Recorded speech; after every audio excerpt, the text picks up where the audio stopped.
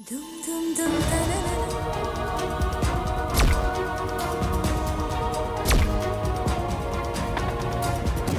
എവിടെ? ആരെയോ കാണണെന്ന് പറഞ്ഞ് പുറത്തേക്ക് പോയി. ആരെ കാണാൻ? അതൊന്നും പറഞ്ഞില്ല.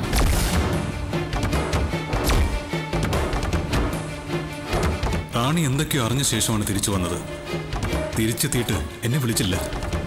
മാത്രമല്ല എന്റെ കോൾ മനഃപൂർവം അവൾ എടുത്തില്ല.